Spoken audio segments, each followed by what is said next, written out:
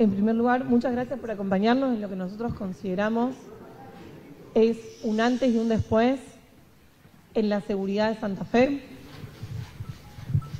Esto viene directamente no solo a acomodar lo que desde el momento uno decíamos que estaba muy desprolijo, sino además a definir un criterio de seguridad definitivo y por arriba de otros, de otros criterios o de otros estándares. Hoy vamos a poner en funcionamiento los uniformes para la primer tanda de internos que considerábamos más urgente, es decir, los internos de alto perfil nivel 1, aquellos que lideran aún desde adentro o que intentan liderar desde hace unos meses las bandas narcos criminales, principalmente de la ciudad de Rosario y algunos de la ciudad de Santa Fe.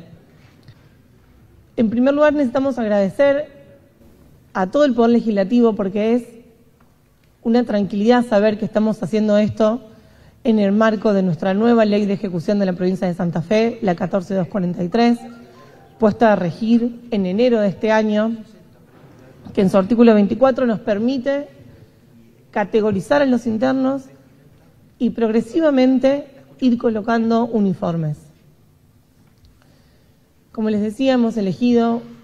un color llamativo, un color que de ninguna manera forma parte de nuestros uniformes.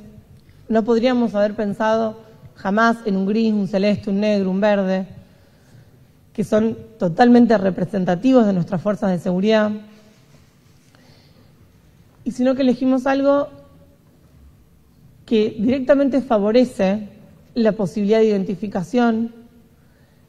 ver cuando no están donde deben estar, detectar automáticamente si no están parados al lado de un efectivo del servicio penitenciario y poder con ello controlar no solo cualquier circulación no permitida, que sería de alguna manera un dato menor,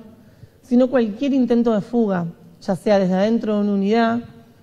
o bien en los escasos momentos donde salen de las unidades penitenciarias, conociendo plenamente el riesgo que esto significa. Estos uniformes se utilizarán en todo momento para salir de los pabellones, es decir, los internos no recibirán ni visitas, ni audiencias virtuales o presenciales, ni consultas médicas sin estos uniformes. Creemos que marcamos una diferencia y creemos que nos adelantamos a lo que va a venir. Como decía, este es el primer paso. Son los internos nivel 1. Nos quedan los internos nivel 2 y los internos nivel 3.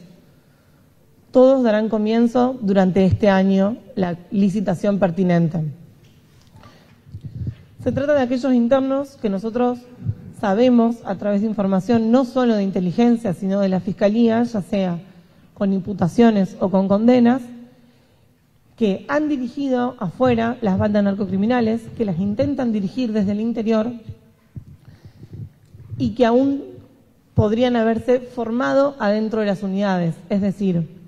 en el permanente control que se realiza para ver cuál si un interno es o no es alto perfil y en este contexto qué nivel de interno es alto perfil,